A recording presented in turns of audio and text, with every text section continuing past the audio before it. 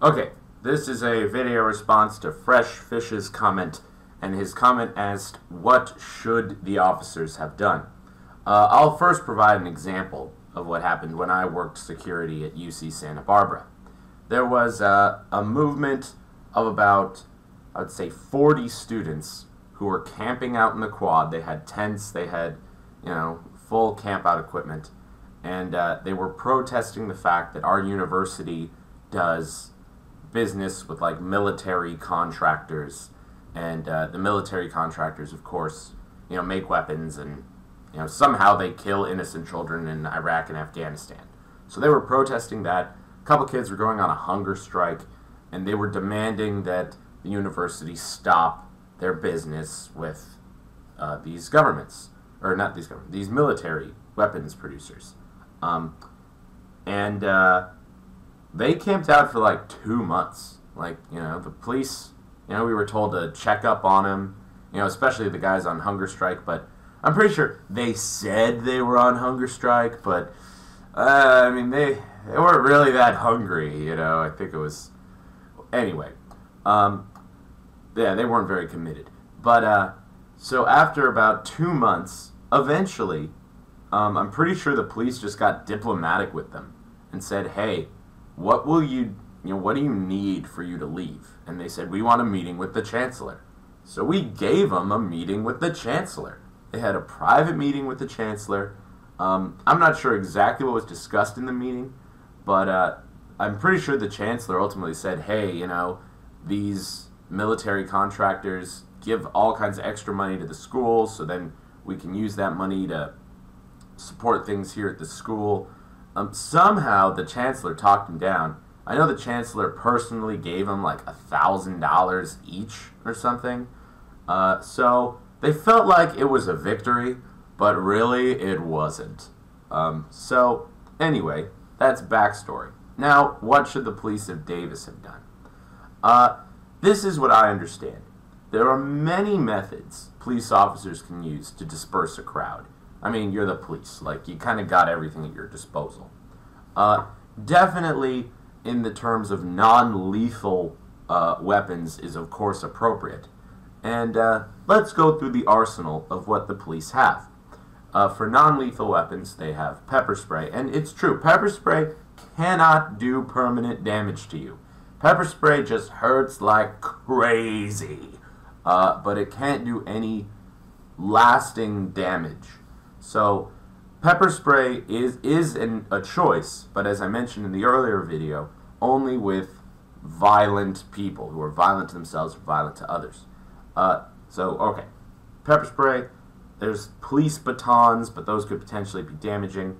Um, water cannons, which I think are only for like really big crowds. But maybe water cannons could have been a choice at this UC Davis thing. Um, yeah, because that was was a good amount of kids that were there occupying. Anyway, um, and then there's also just general like a canine unit, because uh, trust me, as soon as a police dog is anywhere near someone, they will freak out. Like I'm not saying like unleash the dogs to attack the kids, but I'm saying like if the dogs are on standby and you know like they're looking kind of mean, kids will disperse. Cause yeah, there's just a natural human tendency to be afraid of a, a dog that could potentially get you.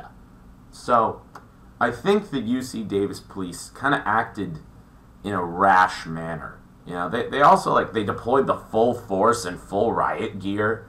Like, I mean, geez, like where did all those police officers even come from?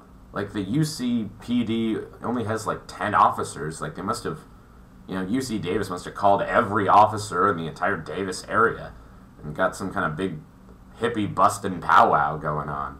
Um, but uh, yeah, I I I can't say for sure because I'm not a trained police officer, but I just definitely know that at least the UC Santa Barbara Police Department would have chosen other options. Um, well, yeah, actually, there's this other time where this mob of like 40 kids occupied the highway. And, uh, yeah, and then we had to have police get in there and break them up. But really, we just, you know, got on a loudspeaker and got the officers assembled. Um, and we were just like, y'all got to leave, or you're all getting arrested. And they all left. Uh, true that I think probably that same ultimatum was given to the UC Davis kids. And, you know, they decided to sit down, link arms, and, uh, you know, they, they probably knew they would eventually get arrested. I mean, I don't think anyone's complaining about them being arrested. What's compl- they're complaining about is the use of pepper spray.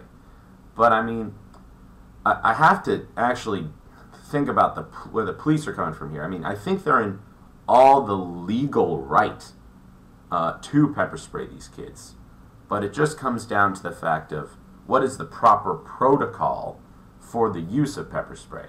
Because if someone is you know resisting arrest, and those kids were resisting arrest. I mean, the police said, "Hey, if you don't leave, you're going to be arrested," and they said, "Nope, we're going to stay here."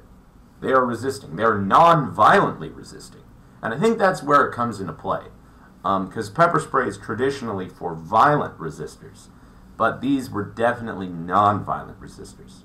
Um, if if I was in the, those police officer situation, I would have pursued some kind of diplomatic means, uh, possibly water cannon use, uh, if it got to that. But I don't think it was at that point yet.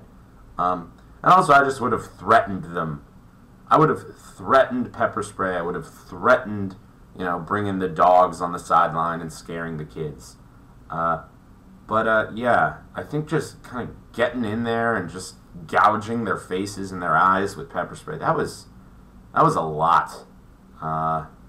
Yeah, that's my two cents. Peace.